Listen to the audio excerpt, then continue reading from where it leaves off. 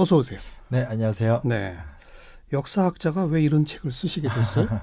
그 제가 어, 일단은 이 블랙리스트 조사위원회가 사실은 만들어져서 예. 한총 1년 반 정도 활동을 해서 네. 얼마 전에 10건짜리 조사 보고서를 냈는데 예, 예. 제가 그 백서 편찬 소위원회에 어. 어, 산 꼭지를 담당해서 어. 사실은 이제 연구진으로 들어갔던 거죠. 아. 그게 계기가 돼서 아. 지켜보면서 아 이거는 꼭 역사 기록으로 남겨야 되겠다. 음. 옛날 얘기만 쓰는 것이 아니라 네, 지금 네. 당장 오늘 우리에게 의미 있는 이야기를 좀 재탄생시키고 싶다 해서 이렇게 열심히 준비해서 하나 만들었습니다. 아, 서문에 이렇게 쓰셨더라고. 역사가에게 현대사가 아닌 현재사를 쓰는 것이 요구되는 시대다. 네. 현재사라는 말이 있어요? 사실 뭐 있는 말 같지는 않고요. 만드셨죠? 네네. 어. 근데 다만 사실 우리 역사가 워낙 격동의 상황 속에 있고 이 상황 속에서 그러면 옛날 얘기만 하는 것이 올바른 것인가? 아니면 지금 우리 안에 있는 의미가 어, 의미를 재해석해서 어, 다른 문제들을 또 해결할 수 있는 좋은 성찰의 도구가 되면 안 되는가 이런 고민 속에서 음. 조금 과감한 노력을 한번 해봤습니다. 네. 네. 새로운 장르를 하나 만들었다고 봐주시면 좋겠습니다. 현재사. 네, 어. 책 제목은 우리는 누구도 처벌하지 않았다. 네. 그러니까 결국 처벌이 미흡하다? 이게 결론입니까, 책에? 그렇죠. 그리고 처벌이 됐다라고 생각하지만 그 음. 과정을 꼼꼼하게 따져보면 언론에 나오고 아주 유명한 몇몇만 처벌의 대상이 됐을 뿐이지 나머지 문제는 대부분 생각보다는 뜻대로 된 것들이 많지 않다. 음. 그리고 혹은 처벌이 됐다고 생각하는 분들의 그 형량이나 내용도 과연 이것이 적당한가 혹은 음. 정당한가 이런 예. 질문을 한번 심층적으로 해보고 싶었던 거죠. 그리고 책의 부제가 굉장히 길어요. 혐오와 처벌, 정의와 기억의 관점에서 다시 쓴 블랙리스트의 역사. 혐오와 처벌, 정의와 기억.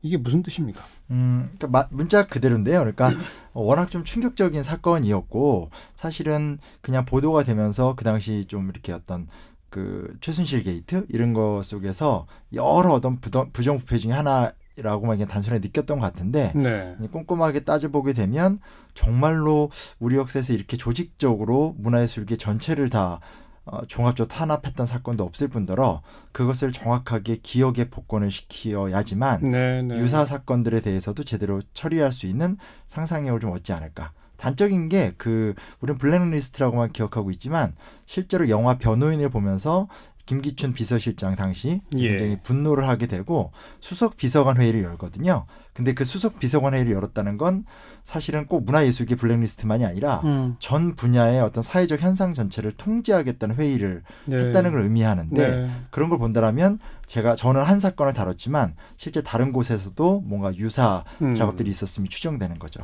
이 문화예술계 블랙리스트는 또 저희 시사자키 프로그램하고도 밀접한 관련이 있어요.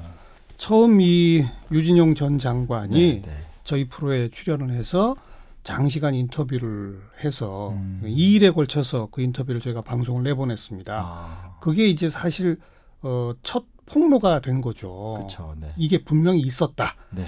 어, 본인의 기억으로는 전두환 정권 80년대 초에 있다가 사라졌는데 다시 이 리스트가 등장했다. 아, 라는 걸 증언을 했거든요. 네, 네.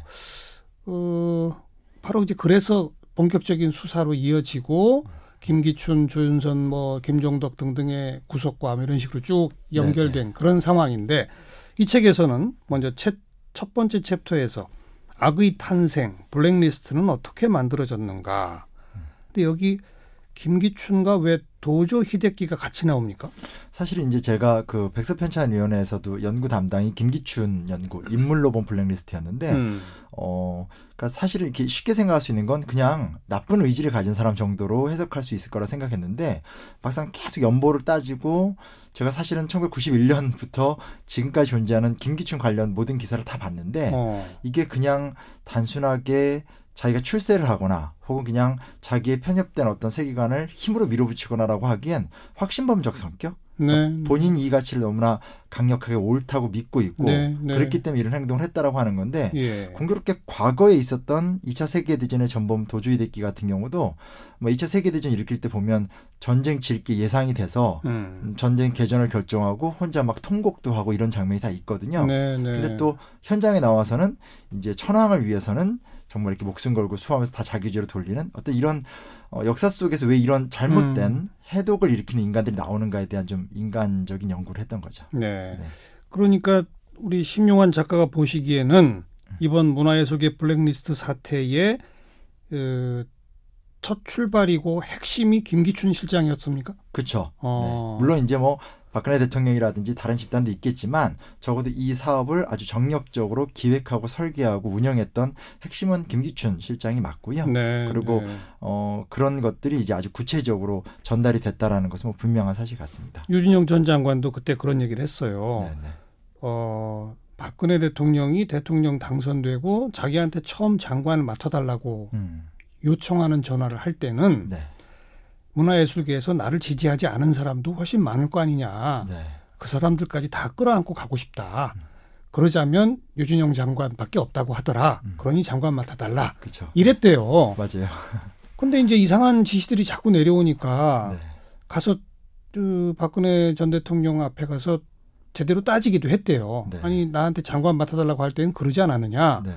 그랬더니 웃으면서 아무 말이 없었답니다. 어, 근데 그 후에 계속 그런 지시들이 왔다는 거고 그게 역시 김기춘 실장이 온 이후였다고 증언을 했거든요. 맞습니다, 맞습니다. 그렇군요. 그리고 이제 어떻게 보면 초기 이런 일이 처음 있었기 때문에 당황스러워서 유진영 장관을 비롯해서 이제 고위 공무원들이 이걸 어떻게 해서라도 좀 비껴가야 되겠다고 예, 할때 예. 보면 결국 이제 일과 사표 처리로 갈, 가는 걸 주도했던 것도 김기춘이었고 맞아요. 근데 이게 한 번에 이렇게 탁 특정해서 자르면 좀 모양새가 안 좋으니까 이렇게 좀 넓게 자르면서 음. 실제로 이제 그들을 배제하는 게 목적이라는 등 어떤 좀 정말 있을 수 없는 공무집행이 있었던 거죠. 네. 김기춘 전 실장은 본인의 확신에 의해서 네, 우리나라 문화예술은 이 방향으로 가야 돼. 그렇죠, 그 방향이 동의하지 않는 사람은 절대 정부 지원을 받을 수 없어. 그렇죠, 그렇죠. 이런 거죠. 네, 네. 어. 뭐 너무 당연한 얘기고 사실 조금 의아한 건 그분은 그럴 수 있다 치는데 네, 네. 왜 그곳에 조윤선, 김종덕 같은 어떻게 보면 유신 시대 사람도 아니고 음. 그렇게까지 박근혜 정권하고 깊이 유대감을 가졌던 사람들이 아닌 사람들이 그렇게까지 함께 사업을 했는지 예. 혹은 그것에 대해서 공무원들 일반 공무원들이 어떻게 그렇게 어디서 명령을 수행했는지도 좀 충격적이어서 그게 이제 두 네. 번째 챕터입니다. 맹종하는 공무원, 네. 관료는 왜 권력에 순응하는가? 네. 여기도 또 히틀러의 블랙리스트 사업 그리고 슈페어 이건 네. 뭐예요? 아, 요거 이제 외국 사례랑 비교해서 보면 좋을 것 같은데 히틀러가 사실은 문화예술계 블랙리스트 사업의 원조입니다. 어. 그래서 현대 미술들을 퇴폐적이라고 규정을 해서 본인이 마음에 드는 걸 제어하고 나머지는 다 모은 다음에 퇴폐 미술 전시회까지 열고 허허. 그 작품을 무시하려고 정신병자들이 그린 그림을 막 섞어서 갖다 놓습니다. 그래서 어. 우리가 잘 알고 있는 뭐 샤갈, 살바로드 달리 이런 작품들 사이에 정신병자들의 치유용 그림을 같이 섞어 놓고 네. 봐라 이게 타락한 현대 미술이다. 어. 그러니까 이런 걸로 가면 안 되고 우리 나치의 어떤 흐름으로 가야 된다 이렇게 어허. 가는 걸 제시했었고 예. 슈페어는 나중에 군수장관이 됐던 사람인데 이분이 무명의 건축가였는데 아주 우연한 기회에 히틀러가 꿈꾸는 건축술에 공헌을 할 기회가 생기면서 음흠. 출세를 막 하는데 그 슈페어의 회고를 보면 나는 나의 성공을 위해서라면 뭐든지 할 수 있었다. 어. 아, 그러면서 이제 결국 나중에 가면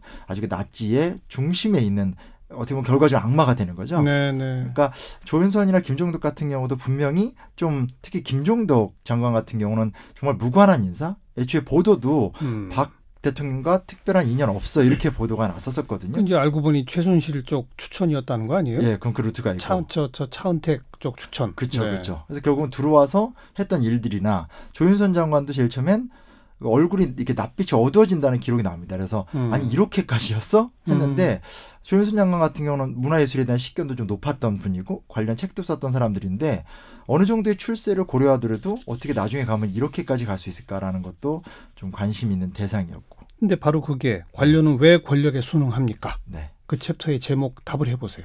그 일단은 그 두 분에 대한 얘기 조금 차치하더라도 음. 이런 게 있습니다. 그러니까 법적으로 헌법적으로는 공무원은 당연히 법을 집행하는 사람이 돼야 되는데 예. 한국의 공무원 사를 분석을 해보면 1950년대까지는 공무원 임용 제도가 없습니다. 그러니까 그냥 이렇게 어떻게 보면 좀 이렇게 그냥 인맥으로 아름아름 뽑은 거예요? 네.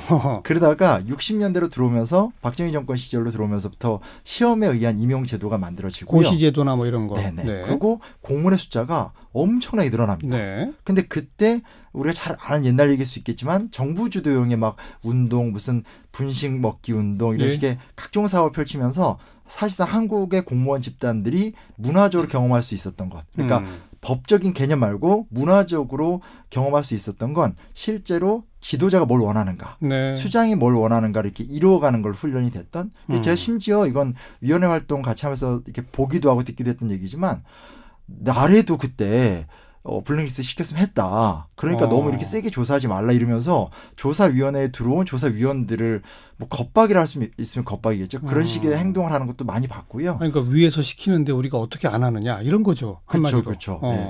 어. 그런 게 또 너무 많이 봤고 예. 그리고 이제 그러니까 뭐라 해야 되나 실질적인 반성이 이루어지기보다는 이제 그냥 빨리 조사하고 음. 끝낸다라는 음, 태도들 음. 심지어 마지막 이제 문체부에서 사과할 때 그 현장에 저도 있었는데 그때도 보면 문화예술인들 다 와 있고 기자들 와 있었는데 애초에 사과라는 말을 다 하기로 합의도 해놓고 사과라는 단어도 빼고 어. 물론 이제 현장에서 도종환 장관님께서 사과를 하셨는데 거기 대변인이 나와서 이제 고위 간부인데 기자들 질문만 받을 테니까 문화예술인들 질문 안 받겠다 이런 식으로 음. 하면서 또 거기서 또 원성을 쌓, 쌓기도 하고 예, 예. 공무원의 관심과 방향이 법과 국민이 아니라 언제나 그런 지도자를 따르는 훈련이 돼 있는 음. 이 문화는 좀 반드시 좀 짚고 넘어가야 되지 않는가라는 생각도 좀 해보게 되고요. 이번에 이제 구속되고 재판해서 다 처벌까지 되는 걸 보면 아무리 위에 지시라 하더라도 네, 법을 어긴 행정 집행을 하면 그 담당 공무원은 처벌받는다. 그렇죠. 이거 아닙니까? 네, 심지어 이런 일도 있습니다.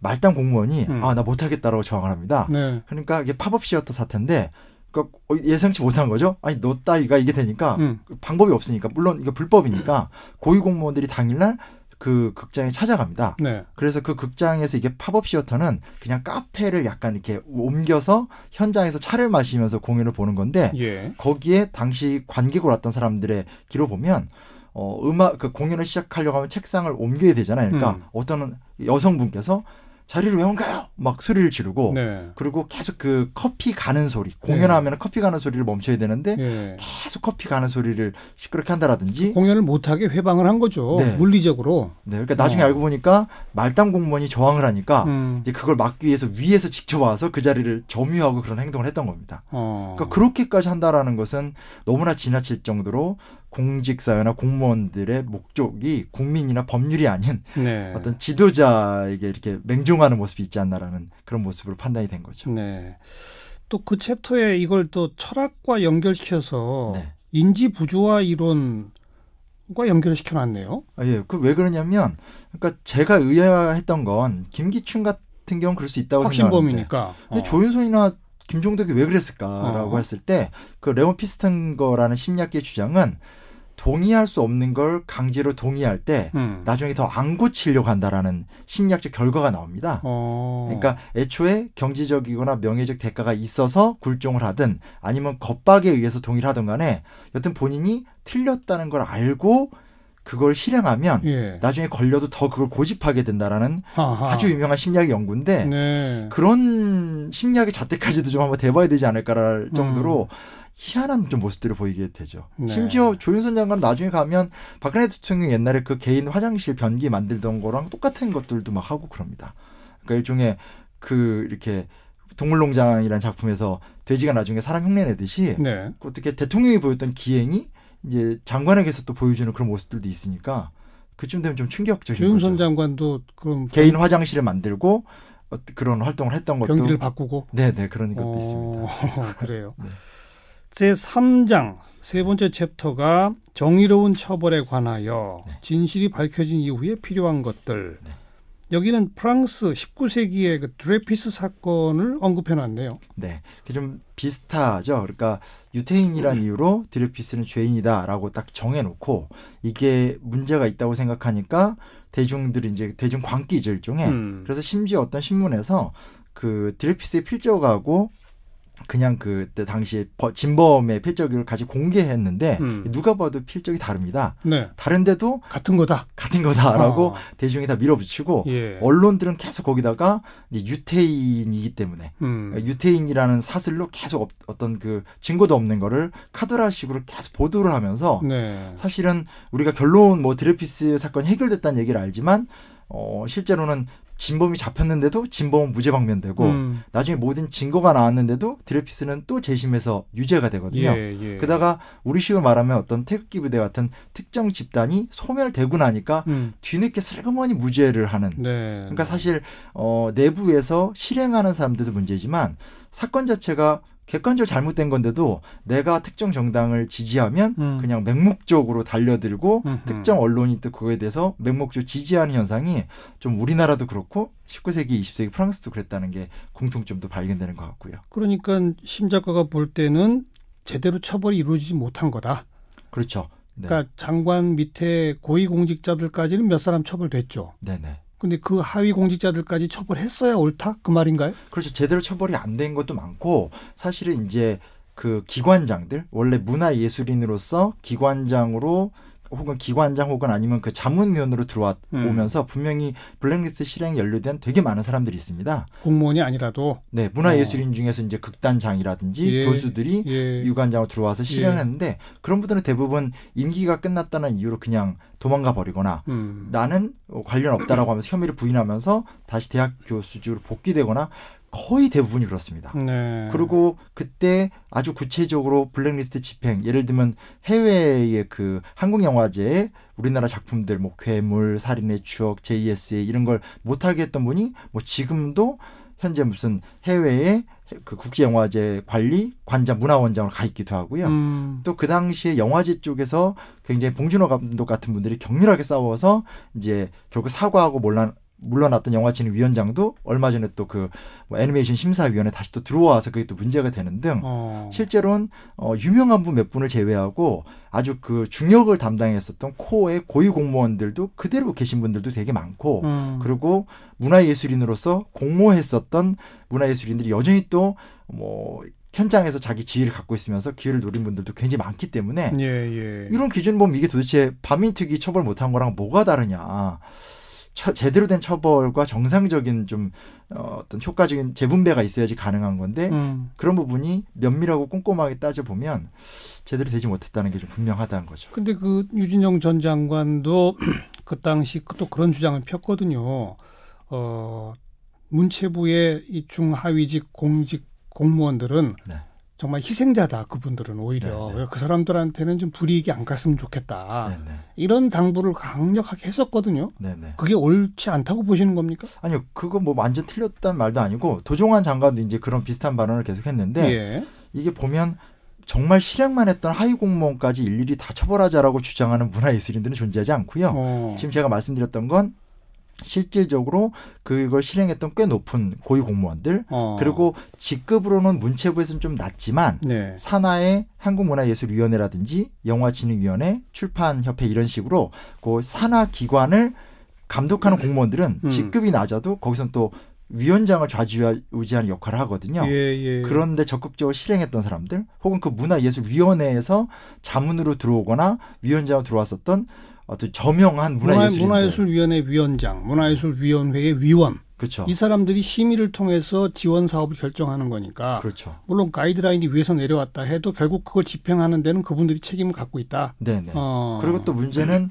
개혁안으로 지금 문체부에서 내놓은 안들이 외부 인사들을 많이 수혈하겠다라든지 보직을 조정하겠다고 얘기하는데 이게 자칫하면 보직을 조정하면 한번 처벌을 받은 셈이 되잖아요. 음흠. 그럼 이제 그 다음에는 다시 돌아오더라도 그 사람은 난 이미 죄 책을 치렀다라는 변명을 할 수도 있는 거고 네, 네. 또 외부 인사 수혈해서 하는 방식은 옛날부터 쓰던 방식이기 때문에 음. 그다지 또 효과적이지도 않고 그래도 그 진상조사위원회가 권고를 하고 네. 몇 번의 진통 끝에 뭐 이 문화체육관광부가 몇 사람 처벌하기도 하기도 하지 않았나요?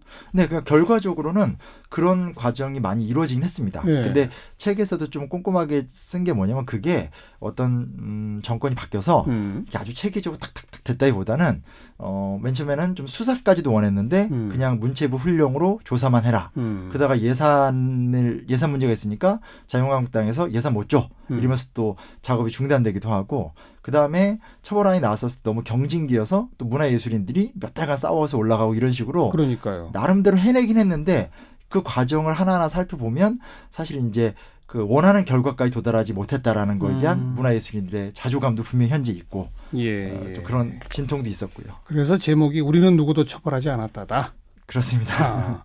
마지막 사장이 기억의 가치 블랙리스트 어떻게 곱씹어야 할까? 네. 자 어떻게 곱씹어야 합니까?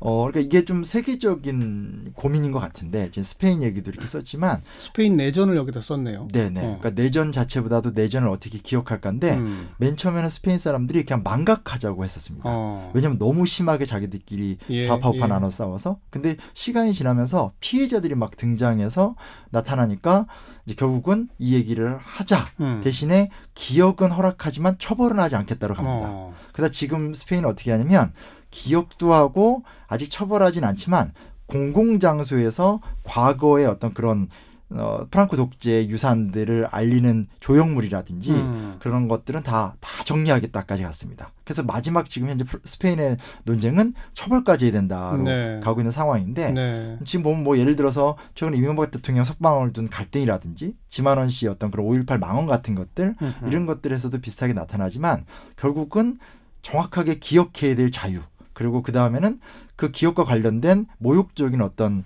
흔적에 대한 제대로 된 정리 네. 마지막엔 어찌됐건 사회에서 동감할 수 있는 적절한 처벌을 통한 새로운 어떤 리스타팅 음. 이거를 위한 지금의 과정인데 이 과정에 좀 좋은 도움 네, 도구를 위해서 네. 책을 썼다 볼 수 있죠. 아직도 그러니까 과정 중이다라고 보시는 거군요. 네, 네, 네. 그냥 끝난 게 아니고 그렇습니다. 어, 몇몇 사람의 처벌 그건 좀 부족하지만 아무튼 그걸로 또 끝내서는 되는 것이 아니라 네, 네. 새롭게 시작하기 위해서 해야 할 일들이 많다. 그렇습니다. 네. 그래서 결론을 의지의 집합이 동력이 되어라고 쓰셨네. 네, 네. 어떤 의지의 집합이 뭘 하는 동력이 되는 겁니까? 아, 일단 사실은 저는 그냥 제가 이제 어떻게 보면 저 옛날 얘기하고 살면, 살면 되는데 현재사를 저는 다루면서 네. 이 얘기를 최대한 왜냐면 그냥 올해도 문재인 대통령께서 친일파 청산을 말씀하셨는데 네.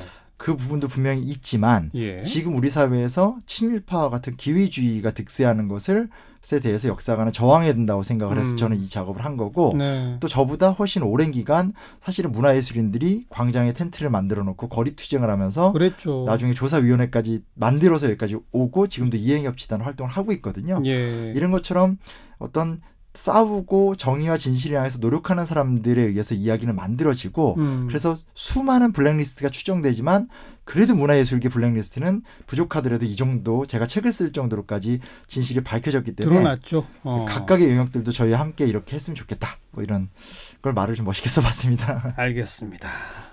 많은 분들이 망각하고 있는데 문화예술계 블랙리스트 사태는 아직도 진행 중이다. 네, 새롭게 출발할 때까지 함께 해야 할 일들이 많다. 네. 아, 그걸 조목조목 짚어주신 역사학자 심용환 작가였습니다. 고맙습니다. 네, 감사합니다.